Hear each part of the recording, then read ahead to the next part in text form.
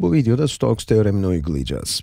Burada küçük bir diyagramımız var. Burada da c adını verdiğimiz bir iz. c, y artı z eşittir 2 düzlemiyle, evet şu aşağı doğru eğimli olan düzlemden bahsediyorum.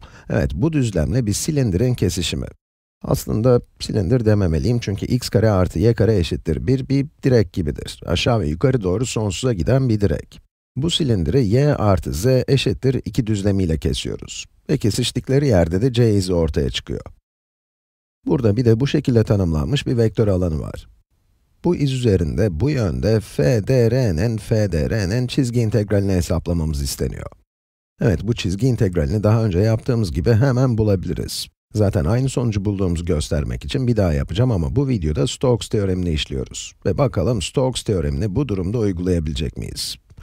Evet, Stokes teoremi bize bunun, sınırları bu şekilde belirlenmiş parçalı ve düzgün bir yüzeyin yüzey integraline eşit olduğunu söyler. Bu şekilde sınırlanmış yüzeylerin en basitini yani c ile sınırlanmış düzlemin bu bölümünü seçeceğim. Yani s, y artı z eşittir 2 düzleminin c ile sınırlanmış bölümü olacak. Evet, bu yüzeyin integralini alacağız. Başka yüzeyler de seçebilirdik ama aralarında en kolay olanı bu. Neden? Çünkü burada bazı bilgiler var.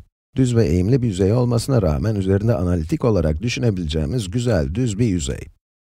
Vektör alanının rotasyonelinin yüzey integrali, vektör diferansiyelini düşünüyorsak, nokta ds ya da normal vektörü çarpı, yüzeyin küçük bir bölümü olan ds, yani küçük bir yüzey diferansiyeli olan ds olarak yazabiliriz. Yönelim hakkında daha önce de konuşmuştuk ama gelin doğru olduğuna emin olalım. İzi bu yönde kat ediyoruz. Eğer çöp adam benzetmesini yeniden kullanacak olursak, bu yönde kafası yukarıda olacak şekilde yürüyorsa, yüzey solunda kalır. Ve bunun için normal vektörünün yönünün de, buna birim dik vektör de denir, yukarıya doğru olması gerekir. Diğer benzetmede ise eğer bir şişe kapağını bu yöne çevirerek açıyorsanız, şişe kapağı bu yönde, yani normal vektörün yönünde hareket eder. Evet, her şey hazır olduğuna göre artık integrali alabiliriz.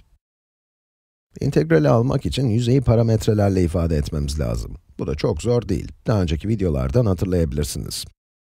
Aynı zamanda f'nin rotasyonelini de hesaplamalıyız. Bunları yaptıktan sonra da geriye bu iki katlı integrali almak kalıyor ve tüm bunları sonraki videolara bırakıyorum.